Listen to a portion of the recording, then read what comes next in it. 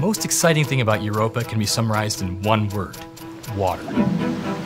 Now think about all the water on Earth and double that. That's what we think is on Europa. We need to go there to explore it, to understand is this place a habitable environment that could potentially support life?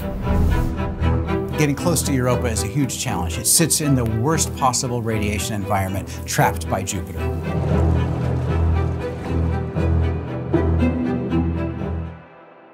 Europa is a moon of Jupiter about the size of Earth's moon, which has an icy surface that probably hides a subsurface ocean. Scientists think Europa has the key ingredients to support life as we know it. Number one, water. Number two, energy. And three, essential chemical building blocks. For the first time ever, we're sending a spacecraft completely dedicated to studying this moon. The three main things that we're going to explore at Europa are the ice and the ocean and understand that intersection between the two, study the chemical composition of the moon, as well as the geology and whether it's active currently. Europa Clipper is not specifically a life search mission. We're going to understand the potential habitability of Europa. The spacecraft has nine instruments and a gravity science investigation. Five of the instruments are called remote sensing instruments because they measure light reflected off Europa, like a camera or a spectrometer. The other four instruments are measuring the environment around them, like sniffing gases or dust. Europa Clipper is the largest spacecraft NASA has ever built for a planetary mission. It weighs 13,000 pounds, six and a half tons. That's like the size of a huge African elephant. And the solar arrays are massive. If you put the solar arrays at the toes of the Statue of Liberty, the other end of the arrays would come up to the Statue of Liberty's crown.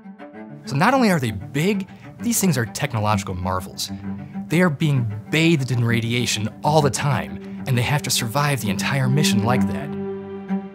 Jupiter's radiation environment is intense, and Europa sits in the worst part of that environment.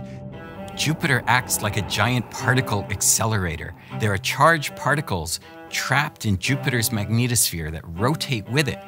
And these particles slam against Europa and will slam into our spacecraft as well.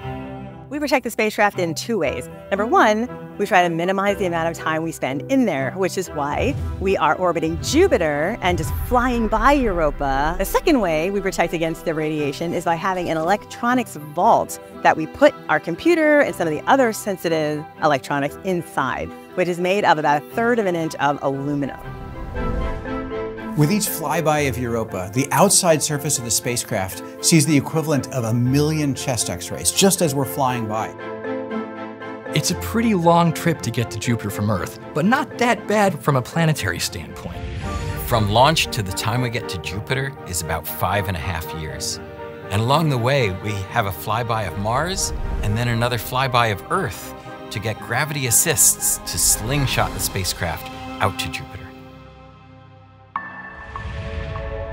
I hope for the future explorers who are watching this at home that they take away from this that humanity, when we come together, can achieve really cool things. This mission has been a long time coming, and we're so excited about what we're going to see when we get there. We are in a golden age of robotic spaceflight exploration. How could you not be excited about something as monumental as this? Am most excited about the potential to unlock the secrets of Europa, the potential to really understand this crazy world that exists and has likely existed in this condition for 4 billion years.